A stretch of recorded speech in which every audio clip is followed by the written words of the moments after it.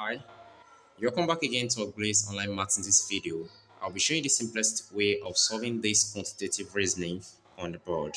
If you have your Lantern quantitative reasoning with you book 6, turn to page 16. I'll be showing you the simplest way of solving this problem. So um, we'll have 12, 9, and 4. If you want to get 12, this is a very simple thing. Take the square root of 9. That is square root of 9 is 3. So that 3 times the 4 down here will give you 12. That is all. So if we want to get this uh, 9, do 12 divided by the 4 down, we give you 3. So 3 square will give you 9. Let's have to get the 9. So if you want to get 4, it's also a simple thing. You just do, you just do 12 divided by square root of 9. So 12 divided by square root of 9, which is 3, the answer is 4. 12 divided by 3 is 4.